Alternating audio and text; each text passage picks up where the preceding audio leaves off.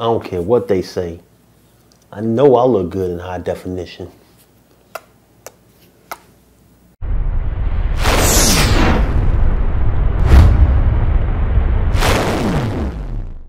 Hey guys, how y'all doing out there?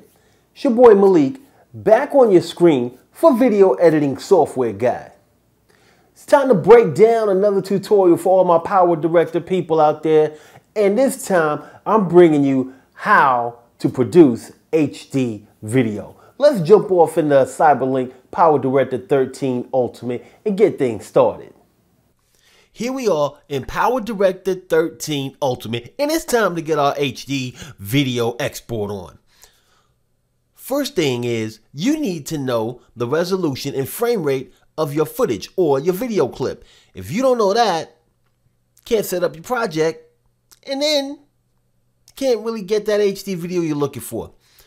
So, you can easily determine the properties of your video clip or your footage right here within Power Director 13 Ultimate. So I'm going to right click on this clip I'm going to use. And I'm going to go down to view properties. Now here it tells me it's a MP4 wrapper. The video file type is H.264 AVC HD. What I'm really concerned about here is the resolution and the frame rate. The resolution is 1920 by 1080, so I know I'm getting full HD on this clip. And the frame rate is 29.97 frames per second. Now, what that means to me is I need to set up my project and export to similar resolution and frame rate to get full HD. So I'm going to close this out. So now I'm going to go to my settings. So I'm going to go to my little preferences.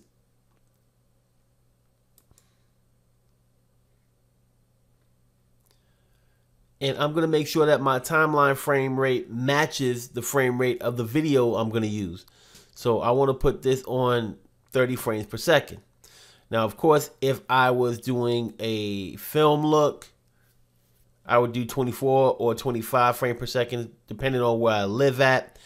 And then if I'm doing maybe some gaming video or something like that, then I would do 60 frames per second or 50 frames per second, once again, depending on where I live at. But for these purposes, I'm going to do 30 frames per second because I'm going to make it match the video clip that I have. So I'm going to click OK.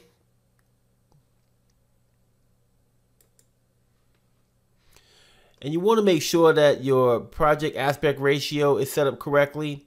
So for a widescreen or HD, you want it to be on 16 by 9. If you have it on 4 by 3, that's standard. You're going to end up with black bars on your video. So make sure that you have your aspect ratio set up to 16 by 9 so you can get rid of those black bars. Now that I have everything set up, I'm going to drag my footage down into the timeline.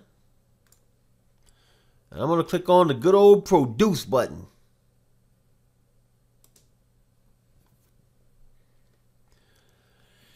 What I recommend to do for the videos that I make is either QuickTime or H.264 AVC. So if you select QuickTime,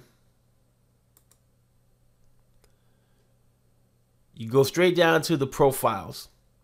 Now, when you select the profile, you want to select a profile that matches the resolution and frame rate of the video clip that we brought in, which was already HD. So we want to go to 1920 by 1080 and I'm going to do 30p because the frame rate of that video was 29.97.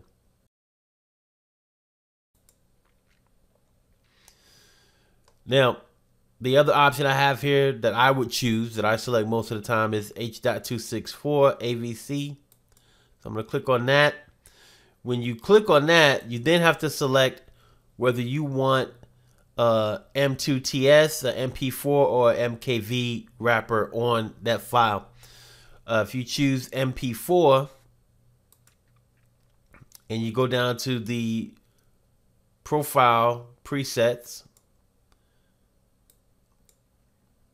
you get all the way up to 4K. You also have 2K. But since we're doing HD, I would pick one of these two, 24p or 30p.